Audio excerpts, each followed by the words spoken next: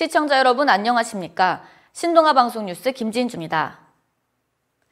경기 북부 지역 돼지 농장 두 곳에서 하루 사이 연달아 돼지열병 확진 판정이 나오자 연천군에는 6개의 차단 방역 시설이 생겼습니다. 연천 농장에서 어미돼지 한 마리가 폐사했는데 신고 후 16시간 만에 돼지열병 확진 판정을 받았습니다. 정부는 돼지열병 예방 차원에서 발병 농장을 포함해 반경 3km 이내에 있는 농장 5곳에 만여 마리의 돼지를 살처분하기로 결정했습니다. 발병 농가 500m 이내인 기존 예방적 살처분 지역 범위를 대폭 확대한 겁니다. 하지만 이딴 확진 판정에 돼지열병 확산 우려가 커지고 있습니다. 방역당국은 일주일이 최대 고비라고 보고 각 지자체에 방역에 총력을 기울여 달라고 당부했습니다.